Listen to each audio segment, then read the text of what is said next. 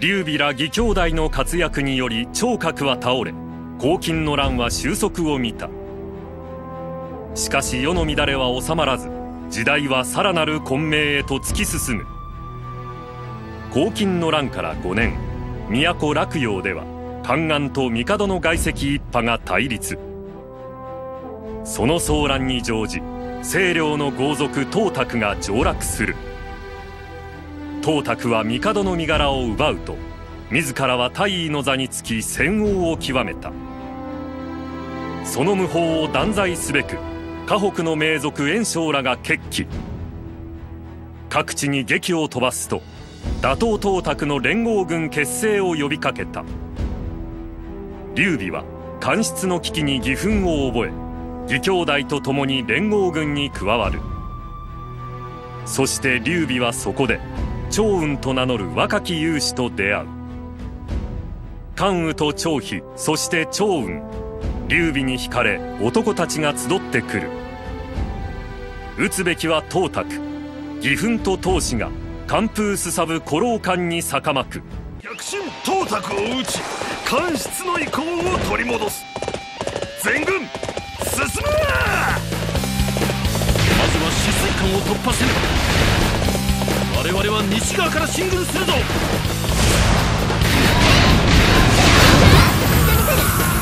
々が一番のだが突出はでき友軍を待つ。栄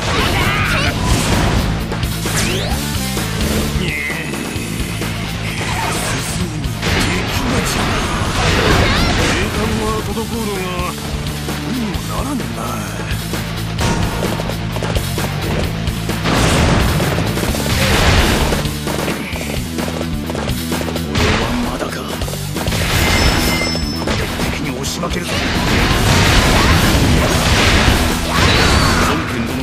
戦しておられる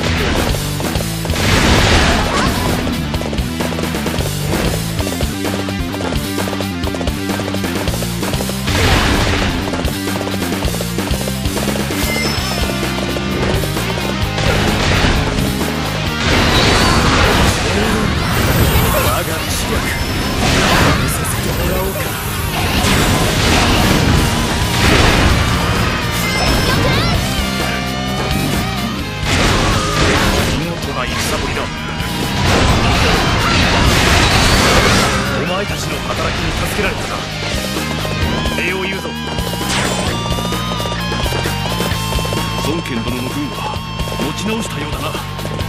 よし。我らはこのまま翡水艦を落とすぞ。よくぞ駆けつけてくれた。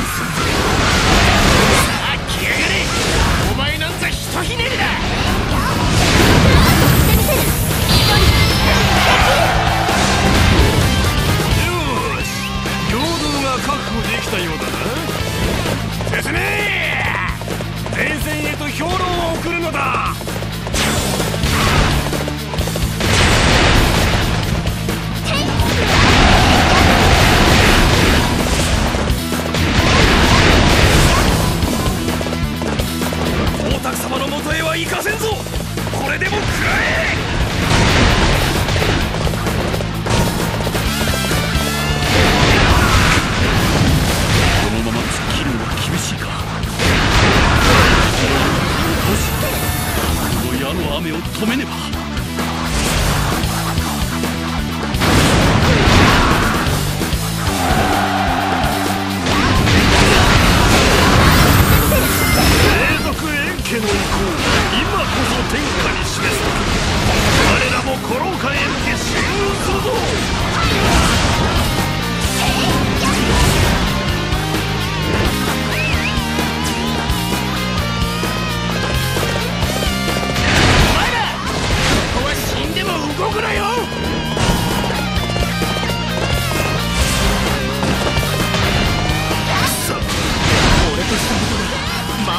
められたか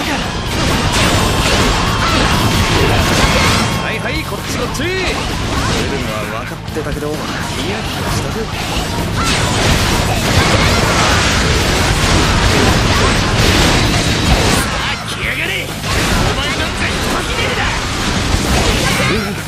私の危機を察してきてくれたか世話をかけるなおおよくやってくれた光沢殿の命によるここは殺さぬ。いざ。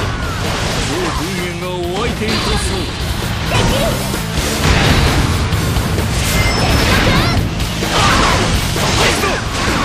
今こそ敵の要所を叩く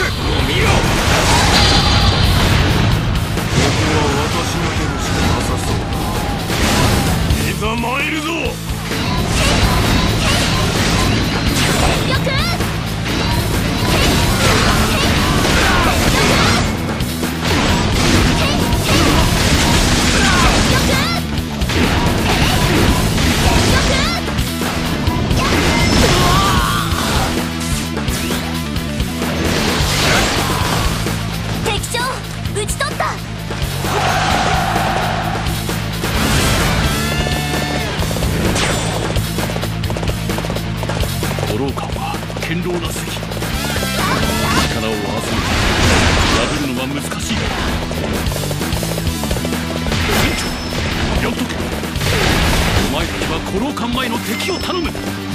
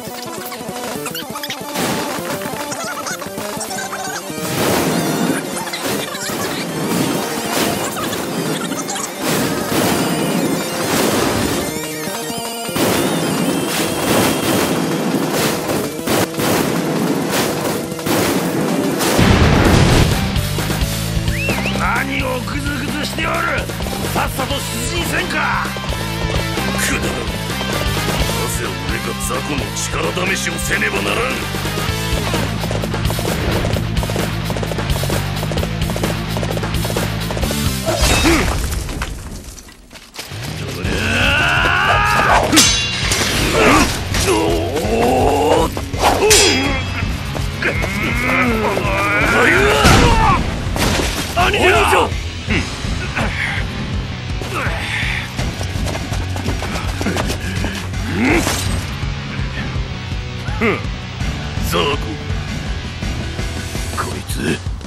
りやがるぜご助勢いたす劉備殿あなたの言う光。ここで消えてはなりません。さよう。我ら全ての力を合わせ暴虐の輩を打ち砕かん。ふん。少しは楽しませてみる。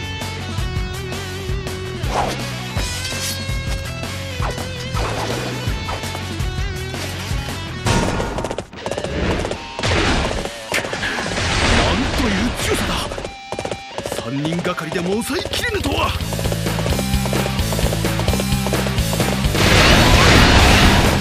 我らの目的は董卓の中罰である。不要な戦いは落葉へ向かえ。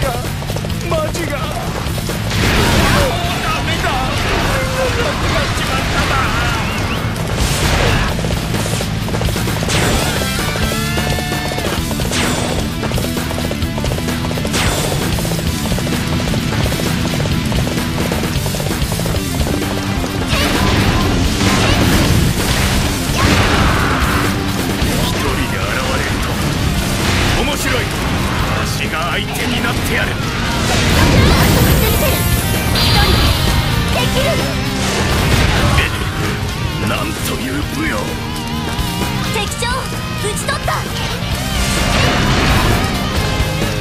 一人で力任せとは下手くそな戦じゃのう。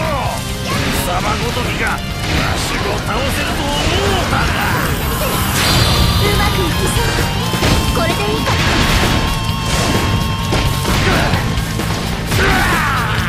ておれ。